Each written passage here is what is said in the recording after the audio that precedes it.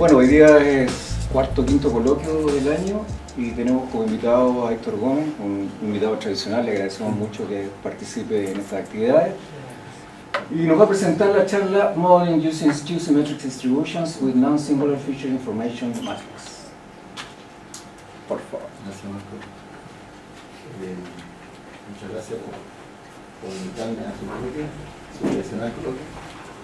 Y bueno, quería compartir en esta presentación un trabajo que está eh, incluido en ese marco, ¿no? en el marco ese que es prácticamente eh, como el, título de, de, de, mi proyecto conceptual y, y, algunas cosas que hemos estado planteando con algunos colegas y espero no, no aburrirlos mucho, así que voy a hacer la cortita, hablando de interrumpir, ¿cierto? La siesta. Eh, la presentación tiene este, esta trayectoria. Eh, básicamente no voy a, no voy a mostrar, eh, voy a mostrar muchas cuentas, voy a mostrar más que todo resultados y más que todo un resultado, eh, que creo que es el resultado más importante del trabajo. Eh, y, y, luego voy a, eh, mostrar una ilustración la matriz información este, trabajo es, como lo que, lo que lleva a la motivación de haber hecho este trabajo. Una ilustración, alguna conclusión y una referencia. Entonces, eh, vamos a, comenzar con, con, un, visitar una vez más, eh, en un coloquio pasado también hablé de este modelo, está relacionado con este modelo lo que voy a presentar. No directamente, pero eh, prácticamente la motivación en el área de modelos SKU. Eh, justamente es el modelo de, de Asalini, ¿no es cierto?, del año 85, eh, que es un, modelo probabilístico que se ha trabajado en las últimas dos décadas con una intensidad muy alta en grupos en todas partes del mundo, principalmente en Italia, donde está Adelki, eh, en, Sudamérica también tenemos grupos en Brasil, principalmente en Chile y en Brasil. Y, la motivación de esta línea, eh, la, motivación de esta línea es básicamente eh, es eh, extender el modelo normal, esta está acá, el modelo normal que todos conocemos en pregrado, el modelo normal, la normal que la instrucción normal. Eh, extender el modelo normal de tal forma de, de hacerlo más flexible, ¿Con qué principio, con qué motivación? La motivación se basa en que eh, el modelo normal cumple supuestos muy, supuestos muy fuertes, que son, que, que, es básicamente que es simétrico.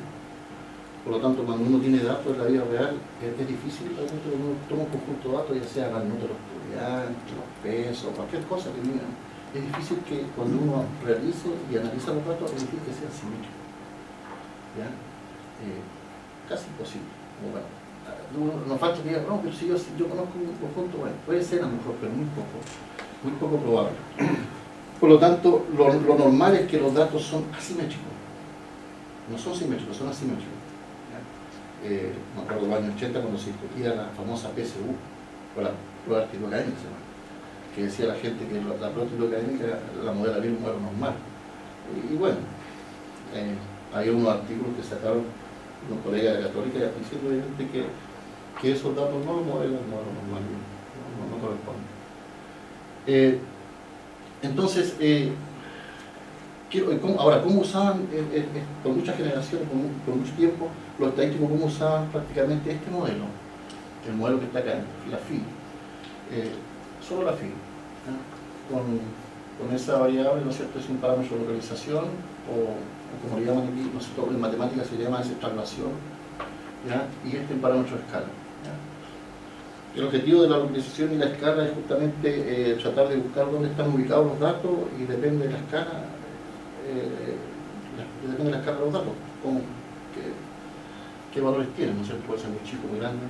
Entonces, pero el problema es que este modelo es una campana que todos conocemos, la campana de Gauss, todos conocemos como usa campana de Gauss. Entonces, para aplicar el modelo directamente a los datos, uno tiene que suponer que los datos son simétricos. Entonces, ¿qué han hecho muchos estadísticos en el pasado? Han transformado los datos. Entonces, aplicando transformaciones medias entre comillas clean, eh, eh, los datos son asimétricos y claro, si aplican así como están el modelo simétrico a datos asimétricos, es eh, una brutalidad en la modelación. Por lo tanto, lo que hacen es transformar los datos. Hay una transformación, una de las más famosas, la transformación de óxico, que lo que hace en el fondo es que esos datos asimétricos los transforman a datos simétricos. Y de ahí como aproximadamente simétricos. Y de ahí tienen la condición, el supuesto del modelo normal, y de ahí, ¿no es cierto?, lo que hacen prácticamente es, es eh, aplicar, ¿no es cierto?, el modelo normal. Pero lo aplican a datos transformados. Entonces la postura nuestra, de todos los que trabajamos en esta área, es decir, bueno, ¿qué estamos modelando? Estamos modelando, no estamos modelando los datos como son originalmente. Estamos modelando cosas que realmente no sé qué son. Porque si son, por ejemplo, altura de estudiantes, que la transformación que te llevó a la simetría es la función logaritmo, y esos datos ¿qué son? Logaritmo de la altura. ¿Cómo interpreto después eso? Pierde interpretación, pierde un montón de cosas, entonces de ahí nace la motivación de estos modelos. ¿Cuál? Es decir, no, no hay que transformar datos, sino que hay que buscar modelos apropiados a los datos como son, como es su naturaleza. Si son asimétricos a la derecha, hay que buscar modelos que sean así, o a la izquierda, pero sin transformar los datos, modelar los datos como ellos son. ¿Ok? Y de ahí nace la, la, familia esta que son la familia Skin normal, que nace en 1985 y ahí nace, no un área eh, que me motivó a mí en, Santiago, en la PUC, hacer una tesis y, y, y, meterme en esta área de, de, Bueno, este modelo prácticamente eh, tiene algún, tuvo, bueno, decir, tiene, mejor dicho, tuvo algunas dificultades, como por ejemplo, bueno, uno puede observar ahí, si ustedes ven, por ejemplo, la notación para este modelo es SL, es normal, el parámetro localización, escala, y este lambda que está acá es el parámetro de que cuando es vale cero, en el fondo es la, esta es la función de distribución acumulada, es, la integral de eso, en el fondo la acumulada de eso, ya, eh, hasta, hasta ese valor, ya es infinito hasta ese valor, entonces cuando ese vale cero, en el fondo esto es, acumula un medio, ¿cierto? que es como el simétrico, y se va con el 2 y queda el modelo normal estándar, o sea, cuando el lambda vale cero, eh, prácticamente es la distribución, recupera la distribución normal estándar. Cuando es positivo, eh, quiebra la simetría normal hacia la derecha, cuando es negativo, quiebra la simetría normal hacia la izquierda. Y así es el juego. Cosas que nosotros observamos en los años 2000, bueno, eh, solamente salía la vio en su tiempo, mucho antes, que la simetría era bien brusca.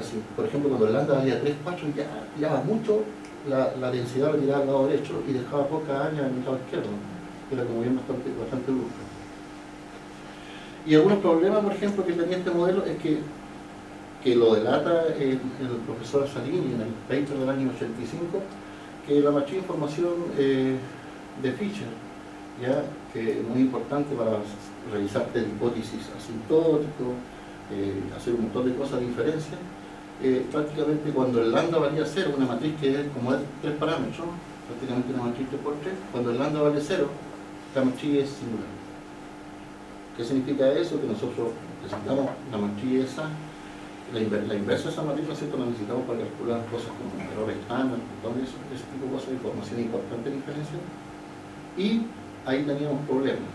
Pero eh, eh, eh, a Salini, ¿no es cierto?, dio una indicación cómo hacerlo, una reparametrización que después con el profesor de la Católica, Reinaldo Arellano, publicaron unos artículos, ¿no es cierto?, en esa línea. También tiene otros problemas, por ejemplo, que también han sido superados cuando, un modelo tiene muchos problemas, bueno. Cuando no tiene ningún problema, malo. Porque se acabó todo y dice uno, no hay más que hacer Pero cuando tiene muchos problemas, dice ah, que bueno, porque voy a seguir trabajando.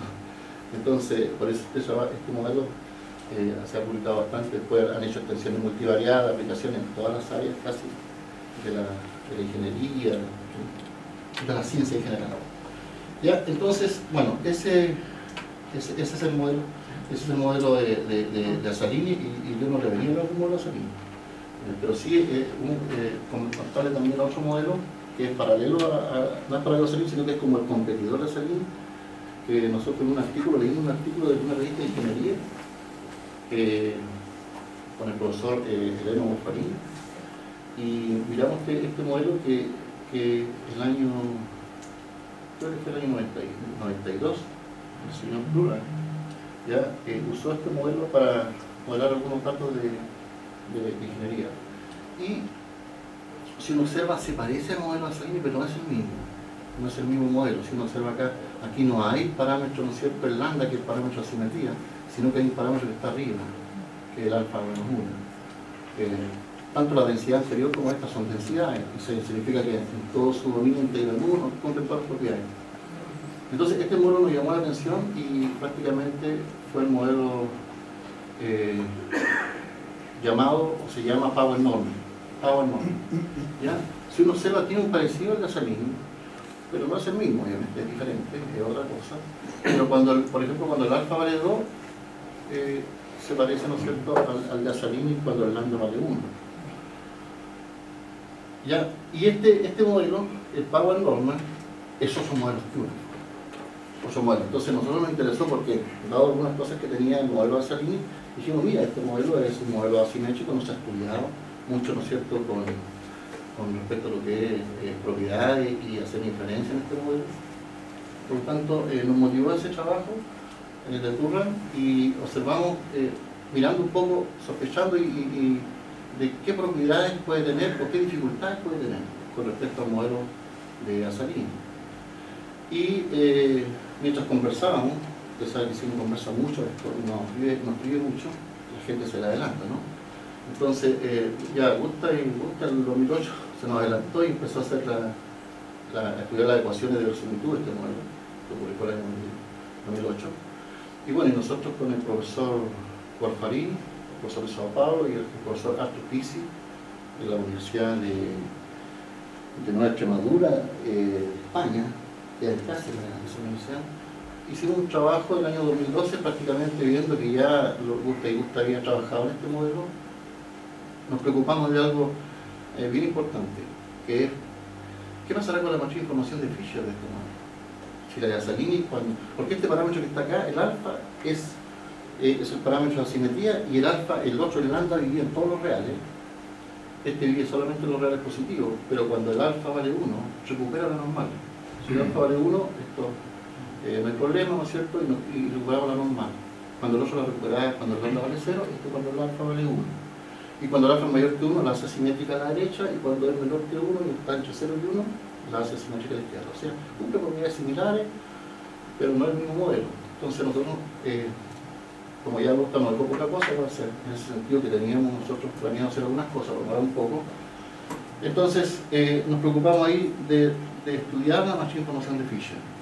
Estaba viendo con Nao, este trabajo el año, que publicamos en el año 2012, lo presenté en el coloquio en 2012 acá en, el departamento. La matriz de información de Fisher de ese modo. Que nos dio algo bien interesante. Cuando el alfa vale 1, o sea, recuperamos las, la normal, la es no singular. Y eso ya, cuando nosotros, si, si, ya eh, eh, teníamos el resultado, encontramos que eso era importante para, para comunicarlo ¿no cierto? a la comunidad estadística del mundo y, que ya teníamos un modelo que tenía esas características diferentes al modelo Salini, prácticamente el modelo que la, que matriz de información de Fisher no singular cuando uno recupera la simetría. Y, publicamos ese trabajo y después con, con Eleno eh, guiamos una tesis doctoral, ¿no cierto?, en la Universidad de Sao Paulo con, con, un estudiante en ese tiempo que era un estudiante colombiano, eh, en ese tiempo, ahora ya un gran investigador de Colombia, Guillermo Martínez, y Guillermo leyó este, leyó este trabajo y, empezó a trabajar su tesis con nosotros. Y el año 2013 lo publicamos con un profesor de la Universidad de California, Mariano, eh, publicamos un trabajo en el cual hicimos la versión multivariable. Y bueno, con Martínez, tesis, ¿no es cierto?, y Eleno, eh, hicimos una serie de trabajos ya con el modelo univariado, con el modelo multivariado, ¿no es cierto?, hicimos algunas aplicaciones, eh, ahí mandamos revistas de estadística aplicada, hicimos varios trabajos Bueno, le he presentado dos modelos que son asimétricos y que la característica y la motivación es la misma, modelar datos como ellos son, sin transformar los datos. ¿ya? Uno se llama skew normal y el otro se llama power normal. ¿ya? Entonces, eh, lo que quiero mostrarle ahora es un trabajo por, que sea, si quiere, si lo quiere leer completo, se lo puedo enviar, está publicado ya. Eh, pero eh, la idea, la motivación de lo que, voy a, presentar es la siguiente. La motivación fue que una visita que, hizo Guillermo a Antofagasta, porque uno para poder, ¿no cierto?, seguir trabajando en esta misma línea tiene que estar leyendo las cosas que hacen los colegas en esa línea y seguramente ahí van a salir alguna idea, ¿no cierto? Y viendo cosas que van quedando o cosas que nosotros podemos sacar a lo mejor de alguna otra forma. Entonces empezamos a observar que eh, había una cosa bien interesante, eh, por ejemplo, eh, que el modelo Power Normal, después que nosotros trabajamos, ¿cierto? había un trabajo de Barry que fue publicado en la revista TES, había unos comentarios de ese trabajo en el cual un profesor que es bastante famoso, había mundial en esta línea, que se llama Balacrina, apellido Balacrina, nosotros decimos Pana, ¿no? muy famoso, eh, hizo una, una, discusión de ese trabajo eh, y después gusta y gusta, ¿no es cierto? Después de, ese trabajo que hizo esa discusión en 2004, eh, prácticamente andaban buscando, ellos andaban buscando, la motivación de ellos era la siguiente sabían de la existencia, obviamente, del modelo normal y del modelo Power. Lo que ellos estaban buscando era unificar esos dos modelos. Hacer una extensión, de tal forma que tener un modelo nuevo que, que, que los, los, en casos en caso particular ambos. Entonces, eh, eso fue cuando miramos el trabajo de Balatín, ¿no es cierto? Y el trabajo de Gusta, esa era la, intención. Y eh, el trabajo de, en, el trabajo de Balatín en el 2002 observamos que lo que, estaba, lo, que, estaba planteado en ese trabajo era prácticamente un modelo de esta forma. Si uno observa, no tomemos localización escala, porque siempre estas cosas se pueden aplicar a localización escala, solo tomemos los estándar. Si miramos, por ejemplo, como estándar, acá está la normal, acá está, ¿no es cierto?, la, acumulada normal, acá está el lambda, y acá está el alfa menos 1. O sea, si uno observa, hay representaciones del modelo del power normal el lambda que está acá, ¿no es cierto?, del sistema Pero claro, para que sea una densidad, tiene, tiene, tiene que integrar uno. Y el problema es que la integral, ¿no es cierto?, para que, sea, para que integre uno, realmente depende de una constante. Y esa constante, ¿no es cierto?, va a depender de los dos parámetros alfa y lambda, y esa constante es numérica. ¿Ya? Entonces observamos el trabajo, ese trabajo unifica los dos modelos, los contiene, ¿ya? los contiene y nosotros dijimos, bueno, eh, interesante, eh, porque cuando el alfa vale 1 sale el modelo de Durán, cuando, cuando, el, perdón, cuando el lambda vale 1 sale el modelo de Durán, modelo power normal, y cuando el alfa vale 2 sale eh, el modelo normal. Ya, y, y, ¿qué nos causó, nos, llamó la atención? Nos llamó la atención que aunque este modelo lo encontramos interesante, todo unifica los dos modelos, que esa constante, que esa constante que normalmente uno le llama la constante de normalización, ¿ya? era una constante numérica. ¿ya? Era una constante numérica, entonces cuando uno después puede revisar los procesos, porque ellos no, lo hicieron mucho, de simulación, de estudio, de simulación, a lo mejor puede producir algunos problemas de convergencia. Por lo mismo, puede ser complejo, aunque a lo mejor una persona que sea muy experta en, computación puede decir, no, no hay problema, hay unos software muy interesante, ahora muy avanzado y hacen cualquier cosa. Bueno, pero la motivación nuestra fue esa, esta es la motivación dijimos, bueno, ¿qué pasa si nosotros tratemos de extender, de extender esto como que, un modelo que contenga los dos modelos, esto, pero que sea, que encontremos nosotros que sea como para nosotros, para la que lo mismo, pero nosotros, que sea más simpático, sea más a lo mejor, eh, que no, no, tuviera esa constante normalización. Y en esa visita, ¿no es cierto?, que hizo el profesor Guillermo, junto, estaba, ¿no es cierto?, por, por Skype con el profesor Guillermo, en una discusión conversando, eh, observamos que este, este, modelo era muy interesante en el sentido prácticamente eh, operacional. Si uno observa, y no es este modelo le llamamos Power Normal. Power Normal. Y si uno observa, tiene dos parámetros, el alfa y el lambda. ¿ya? Acá está el alfa. Esta que está acá, la phi de, la phi de lambda, ya no es la normal estándar, sino que es la densidad Skew Normal de Salini esta es la distribución acumulada de Asalini y aquí está elevado a alfa menos 1. Y si uno observa la constante de normalización, ¿cuál es? Alfa. No es una constante, no es una constante que aumenta, es alfa. Lo demás, ¿no es cierto? Eh, ¿Qué es lo que, es, lo que dije recién? El, el fin, ¿no es cierto?, de lambda es eso, el modelo saliente, ¿cierto? Y eh, el que está ahí, ¿no es cierto?, es, es su distribución acumulada de. Por lo tanto, eh, eso integra uno sin ningún problema, eh, sale bastante sencillo. Nosotros estamos trabajando con, con, en este momento estamos trabajando tratando de colocar ahí cualquier, cualquier modelo simétrico y cualquier función de distribución son modelos simétricos. Vamos a finalizar un poco la idea. Bueno, y bueno, estudiamos las propiedades. este va a ser el competidor de la idea de Balapigna encontramos que era muy bonita, muy cerradito, todo muy, muy interesante, sin nada numérico, en la cara por lo menos. Y eh, la notación que, utilizamos ¿cierto? fue power script normal, con dos parámetros. Y estos dos parámetros ahora uno dice que son parámetros que influyen tanto en la simetría como en la curtosis. Y también que era la, la simetría normal.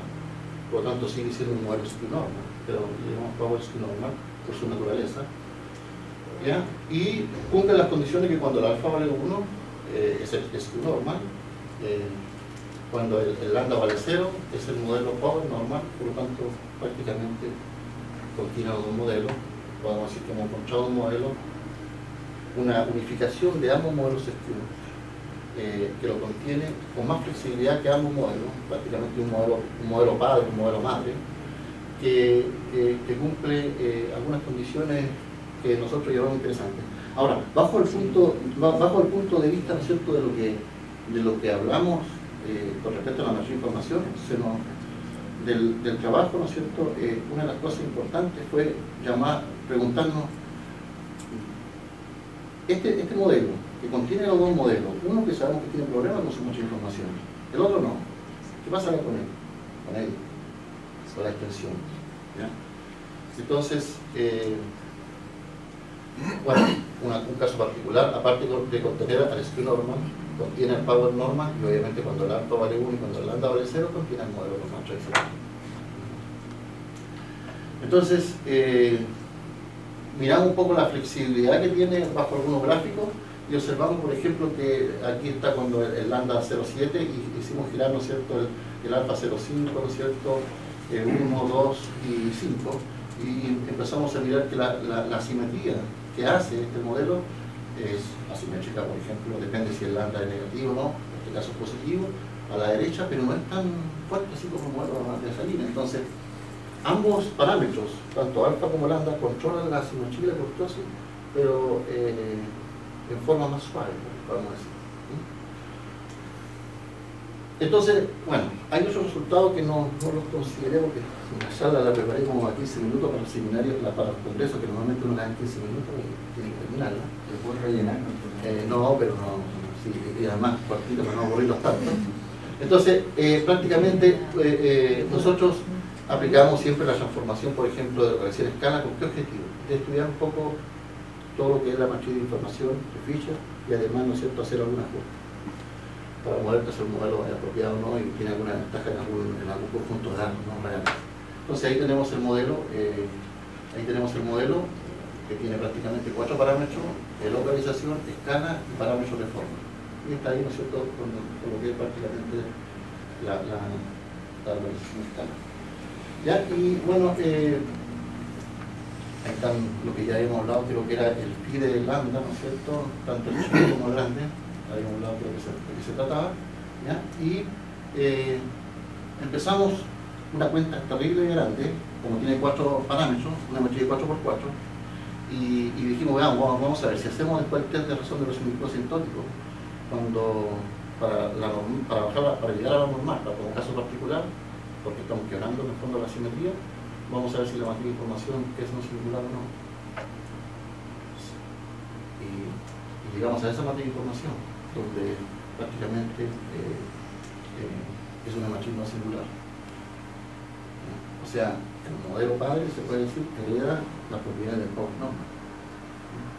Y por lo tanto, si es no singular, podemos tirar para adelante hacer inferencias sin ningún problema, con, con, todo, con toda confianza, sin ningún drama, todas las condiciones de localidad para que el modelo absoluto se cumple.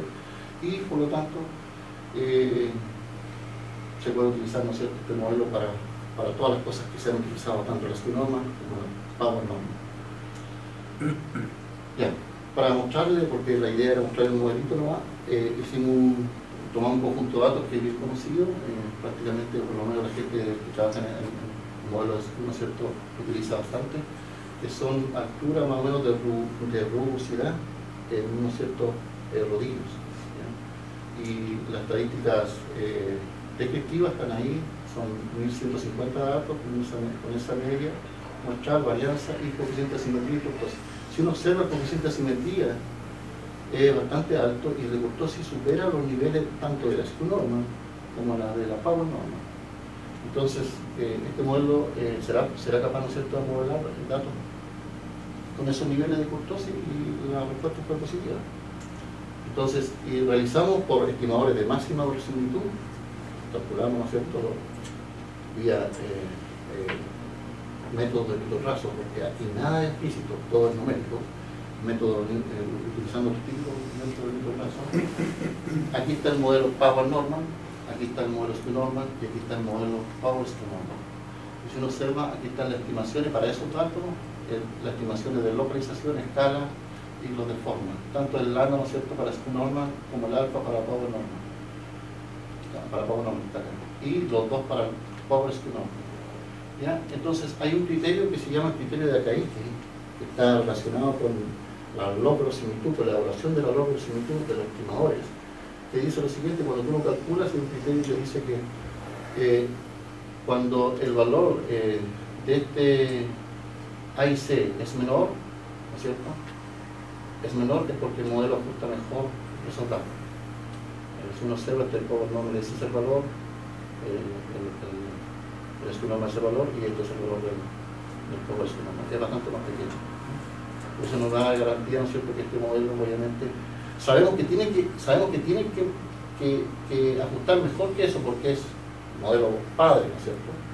Pero lo interesante en esta técnica está en con qué diferencia Porque si, esto, si, si la si la diferencia, ¿no es cierto?, es muy pequeña con respecto a uno de los dos, con el más pequeño de acá, bueno, podemos decir que a lo mejor basta uno de los hijos para estos datos ajustarlo, pero en este caso, con bastante holgura, uno puede hacer el test de razón de los asuntos sintóticos para testear que este modelo con ese le va a ganar este, este modelo con ese le va a ganar, y conjuntamente para, para la parte simetría puede ser el test de, de razón de los sintótico, que converge en el fondo de un archivo cuadrado y, lo, y, prácticamente lo, garantiza gracias a que más información, ¿no es cierto? Sabemos que no circular, podemos sacar el estándar, toda la confianza todas esas cosas. Siempre un gráfico a veces ayuda más que estos datos, ¿no es cierto? Que uno dice, bueno, estos datos no los entiendo mucho, pero eh, a veces uno, para mostrar niveles de hace un gráfico que a lo mejor usted alguna vez lo ha visto, los famosos Google Plot. Los Plot son gráficos, bueno, es un gráfico de, de un histograma con, con su ajuste latencial más del modelo mismo estos son los datos, el histograma son los datos, y acá está, por ejemplo, este que está abajo, ¿no es cierto?, el, es el normal, el que está aquí no se ve mucho, es el power normal, el que está más arribita, ¿no es cierto?, el power skew normal. no, no, dice nada uno decir, ah, mira, ajusta mejor, no, es más que todo mostrar la figura, lo que te dice que ajusta mejor es el criterio de Akaiki, el AIC que mostramos recién. Y también este te dice bastante que son los, gráficos Cuckoo Plot. Los Cuckoo Plot en el fondo son eh, eh, prácticamente eh, comparar los, los percentiles muestrales de los datos con los teóricos, con los teóricos del modelo. Entonces se comparan, se comparan bajo un par ordenado que son X y Y, entonces uno sabe que si X es igual a Y, sabemos que tenemos la línea recta, entonces si son muy parecidos, significa que la ajuste es mejor. ¿Qué indica eso? Que si los puntitos cada vez están más pegaditos a la línea recta, que la ajuste es mejor. Entonces, si uno observa, eh, si uno observa, ¿no es cierto? Este, el, la letra A es el power normal. Observa, por ejemplo, el ajuste de la power normal, observa que está un poco distanciado ahí de la, de la, de la línea. Este es el de la normal.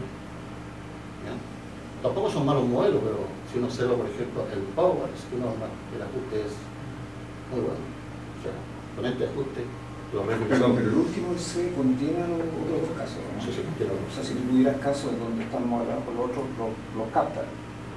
¿Cómo? Lo que pasa es que ese modelo que tú tienes, el último, el PSN que definieron ahí, eh, eh, bajo ciertas condiciones los parámetros contiene a los otros dos modelos que están allá. Sí. Es decir, si hubiese un caso en donde ajustara bien el otro, eh, igual va a funcionar bien este. Es, a eso lo que me refiero. Sí, seguramente, lo que, claro, si no hay mucha diferencia con uno de los hijos, seguramente eh, no hay mucha diferencia tampoco en estas cosas. Esta, cosa, esta, va, a ser muy, esta va a ser muy parecida a esa, ¿no? Pero acá se nota diferencia, ¿no es cierto? Y al comienzo están bastante distanciados. Los primeros, ¿no es cierto?, están, no, no se asemejan mucho, de los mostrales por los, por los teóricos, con el modelo. Entonces esto, este gráfico es muy, eh, ayuda mucho, convence bastante a los y realmente lo que, lo que hicimos fue un aporte con respecto a que hay un conjunto de datos que este modelo que es el padre lo ajusta mejor que los otros. Bien, hay otros gráficos más. Nosotros acá hicimos otro, una aplicación a regresión lineal, pero no la tengo ya porque... ¿Y no puedo inferir algo de los datos? Tomando cuenta que tú sí, partes de acá, normal, se, parte acá, se puede, acá se puede hacer un montón de cosas. Acá se puede, nosotros hace poco acabamos de hacer el segundo paper en esta línea, que es prácticamente utilizar este modelo para extender un modelo famoso que es para, para fatiga de materiales que se llama el modelo Birman-Sandler. Uh -huh. ¿Ya? Pero acá está todo para hacer. O sea, se puede hacer diferencia inicial, regresión lineal, hacer predicciones, todo eso está abierto. Nosotros lo que hicimos en este trabajo fue, este es el modelo. Y esta, estas cosas tienen que son bondades que otros modelos no tienen. Ahí está. No, mi, mi pregunta por otro lado, si, si, tú tienes una, una, variación respecto de la normativa, cuando eso sí, sí. empezar, uno puede deducir por qué se produce a partir del, del modelo esa variación. O sea, uno podría decir algo más del fenómeno o es una cosa que queda yo soy estadístico. No, no, no, es una sí, Yo soy estadístico y los estadísticos trabajamos con datos. Uh -huh. Nosotros, supuestamente, a veces tenemos acceso a, a, tomar los datos, que es lo que deberíamos tener siempre. Y si los datos también tomamos todo, después yo veo el comportamiento de los datos. Y yo tengo que ver si realmente hay un modelo apropiado para eso o no. Ahora, cosas de los datos mismos, seguramente si son de medicina, algunas personas especializadas en eso les va a interesar algo. Pero si yo tengo un modelo que es apropiado que era bien eso, seguramente a poder calcular probabilidades que le interesan, como tasa de muerte, tasa de natalidad, un montón de cosas que lo pueden hacer la gente. Bueno, la pregunta es por qué se afecta el comportamiento normal, o sea, ahí la porque, ¿Por qué se corre tanto para un lado? Porque, por, por, por, porque mira, si tú observas... ¿Qué, qué efecto...? Si tú observas, mira, si tú observas que supongamos que te llegan estos datos a tu computador, te llegan estos datos a tu computador, ¿ya? Mira los datos, mira solamente el histograma. Uh -huh. ¿Tú quieres saber un modelo normal? ¿Los datos son simétricos? No, no son simétricos. Entonces a mí se me da el tiro un modelo uh Se me da el tiro un modelo Por eso la variación base en que yo, si yo tengo datos, cuando uno, ver, una de las cosas que tenemos, ¿no es cierto?, los matemáticos, los estadísticos, es plantar un modelo. Plantar un modelo tiene que tener algunas cosas. En estadístico uno tiene que mirar un poco los datos, tiene que hacer un histograma, algunas figuras, ver algunos coeficientes, mirar algunos si yo observo, ¿no cierto?, esos datos, si, si yo no observo nada de datos, no puedo plantear ningún modelo. Pero si yo observo los datos, mira, si yo observo esos datos que están ahí, por ejemplo, yo no voy a plantear un modelo exponencial, porque exponencial tiene otra forma. Pero tal como ven ahí, tampoco voy a plantear un modelo normal, que los datos no son similares. ¿Qué es lo que hacían estas personas? Estos datos los lo, metían en una cajita, le pegaban unos palos, dictadura total, y salían simétricos. Y eran esos datos. Y modelaban esos datos que no eran lo, lo que, que significaban en la realidad, perdían interpretación. Pero acá no hemos transformado nada. Tal como ellos son, los datos no son simétricos. Por lo tanto, un modelo simétrico no es apropiado para él. Por lo tanto, emerge al tiro, ah, entonces un modelo asimétrico sería más apropiado. ¿Cuál? Aquí hay tres modelos.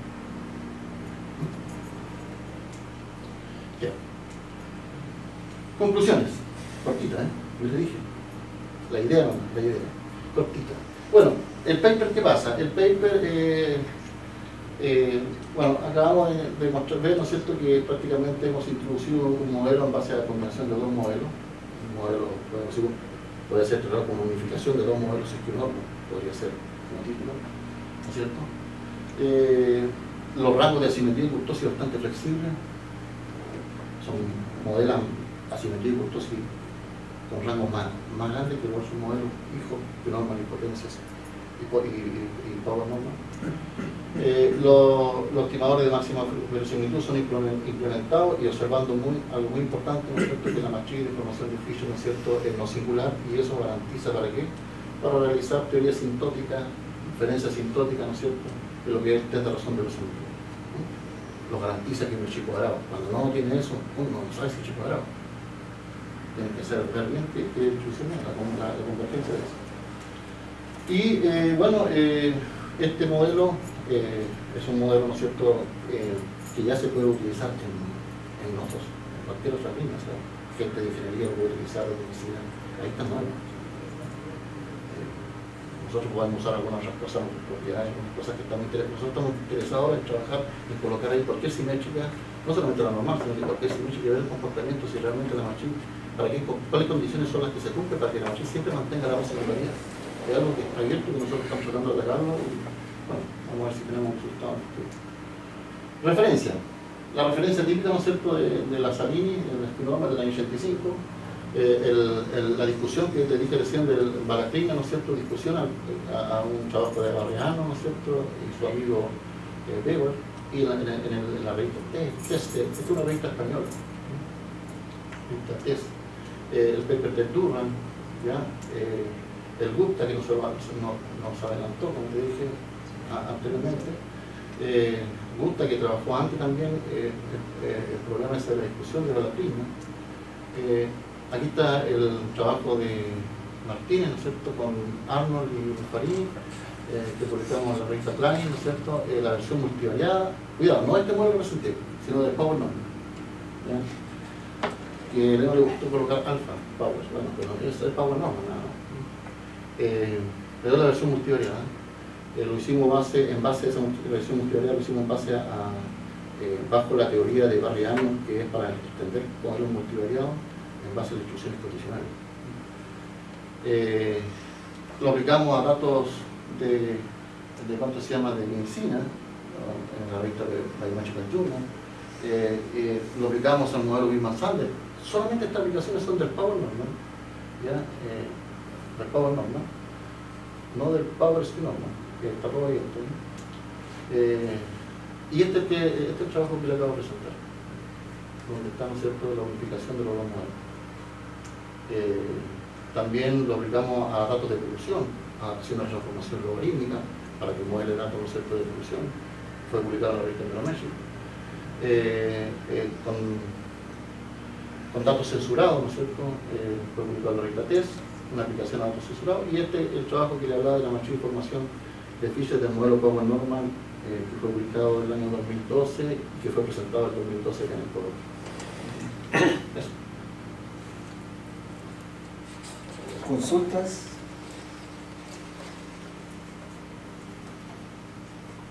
Profesor. Bueno, encuentro súper lindo el trabajo en el sentido de que es elegante porque en general, sin ser para nada un experto en el tema SKU, pero en general uno ve cosas así como medio toscas el SKU, digamos que un puntito que no es diferenciable, el problema de mencionar la información. Esto es un modelo elegante, lindo de aplicar, aparte del aparte de la aplicación práctica. Y con lo que tú presentas parece como llegar y aplicar al menos desde un punto de vista clásico a la pregunta que te hago siempre.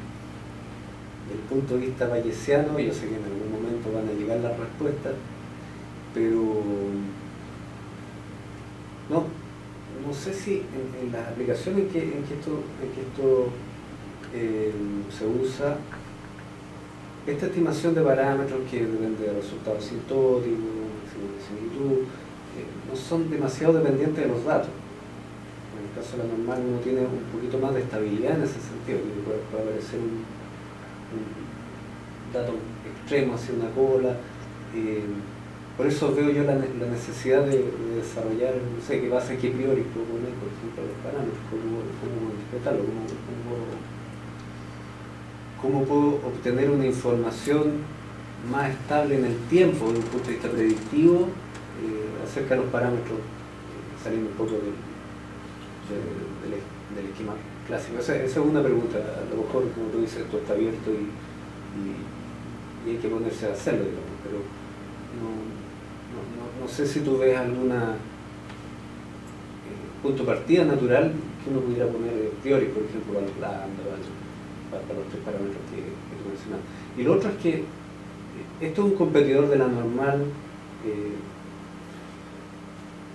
bastante útil en el sentido de la simetría, pero la normal tiene altas gracias, ¿cierto? Sobre todo que es una distribución límite de cosas como los promedios.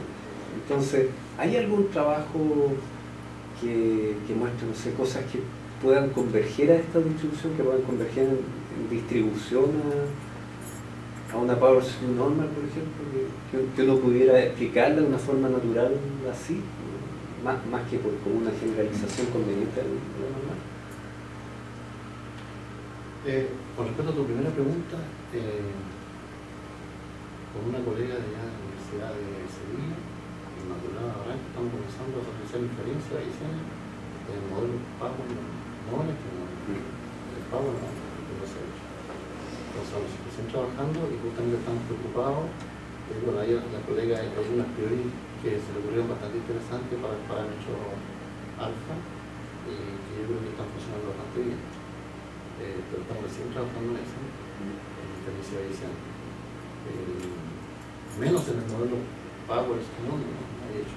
Ahora, para el modelo la salida hay mucho hecho en edición. Eh, en el cual las la teorías que lo ponen para el parámetro alfa, para el parámetro alfa como está los positivos deben ser hechos como gamma, positivo. Y en, en, el caso del normal, normalmente usan eh, eh, para el parámetro grande cosas como pero eh, hay, hay, trabajo hecho en, cosas pericianas mucho, en normas, no tanto en, estamos trabajando en, en, en Power. No, este, este, la segunda pregunta, este modelo no nace en base a una cosa asintótica ni una convergencia.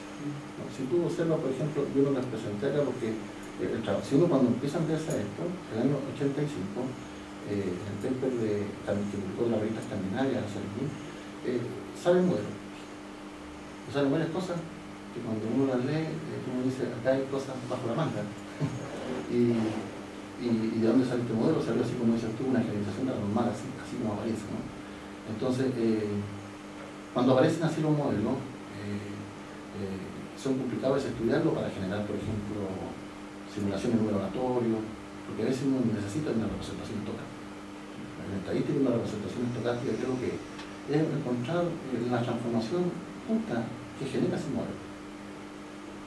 Entonces, pero pasó un año, el año 86, en la misma revista escandinavia, eh, Jensen publicó la representación estocástica del modelo de Salini. Entonces, el modelo de Salini nace en base a una eh, transformación de la normal, pero una transformación que si uno la mira, no nace como una distribución libre, nace como una transformación de la normal. Si uno la mira, el objetivo justamente es quebrar la simetría así me tiene que quebrarla, hacerlo así Así más.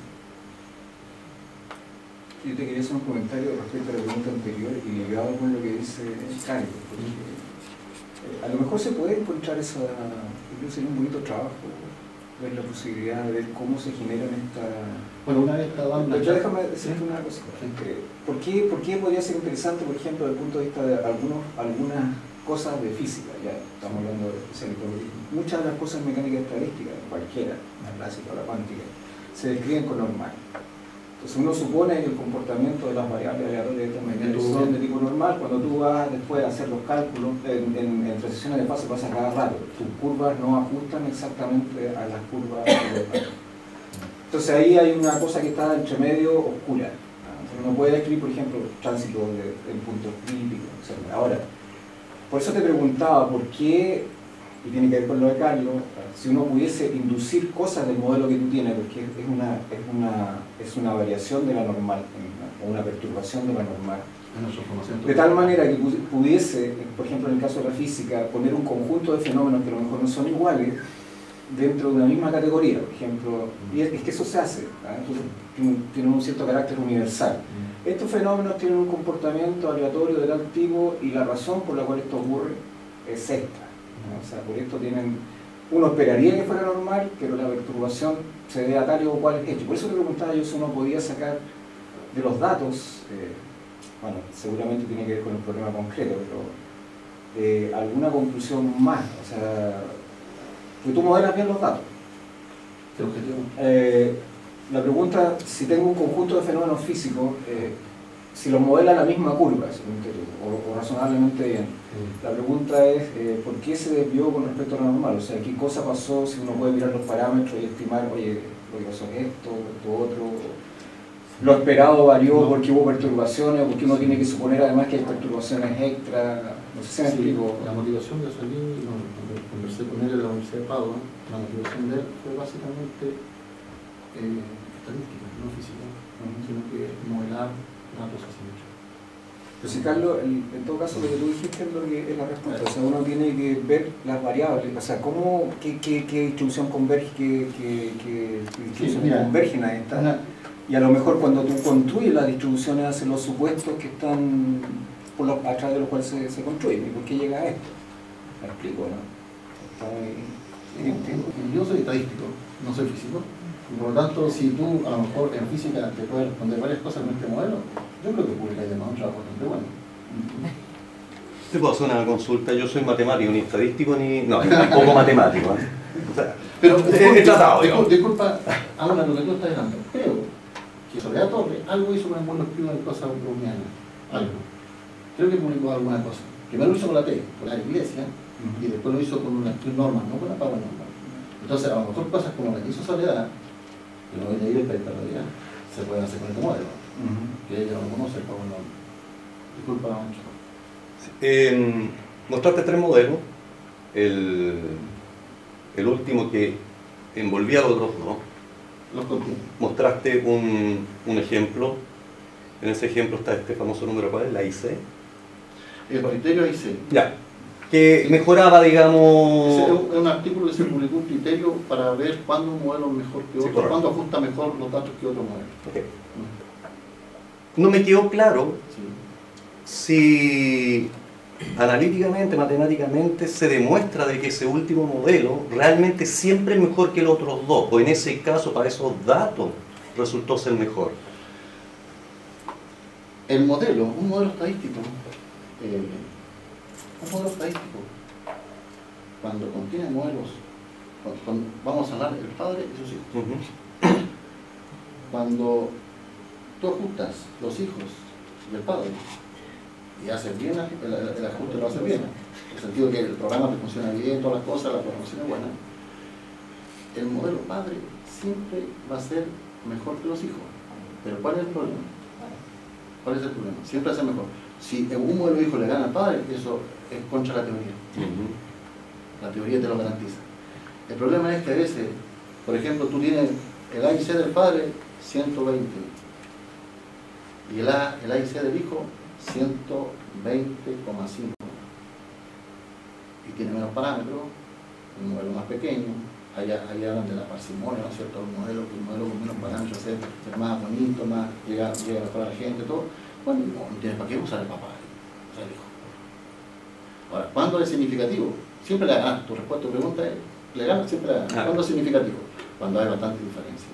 Y uno puede hacer test de, de razón de los similitudes históricos y va a rechazar que el modelo, ¿no es cierto?, hijo no es adecuado para mover a los datos. Si uno, te parece que en el paper lo tenemos, tenemos ustedes otra razón de resumir donde rechazamos los este conjunto.